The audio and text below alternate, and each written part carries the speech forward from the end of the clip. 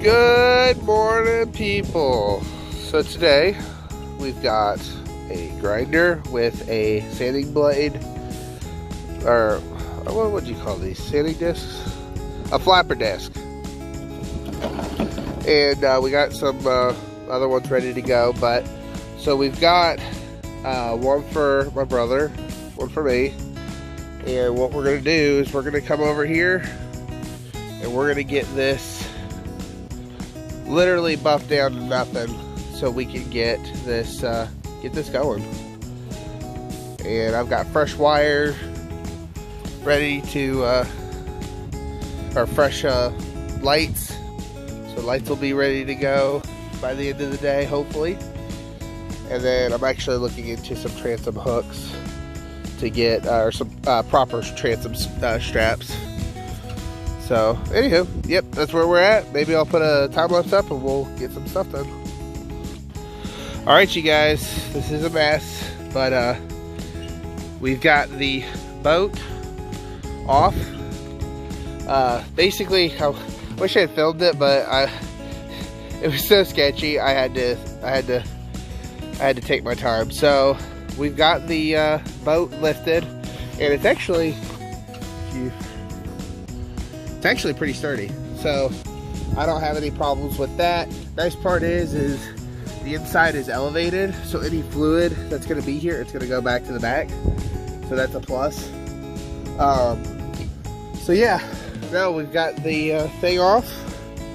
We got the trailer out. So now we can just go to town on getting this sucker cleaned up, get it ready. And uh, I've got a wiring kit here. I don't know if I talked about it earlier, but we got a wiring kit ready to ready to wire up. Got one of these. Got one of these. Yeah, we're ready. See y'all in a little bit.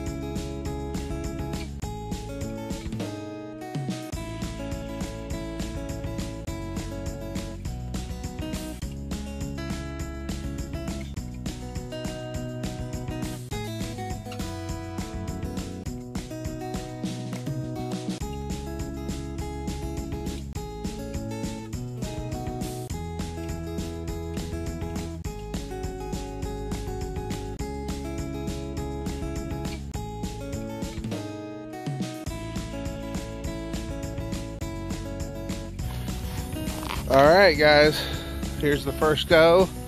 Y'all's got to see some of the sanding I did. Not too shabby. Like I said, I'm not going for perfection with this. You know, it's, it's a 50, yeah, see, 85. We're talking nearly 50 year old cover.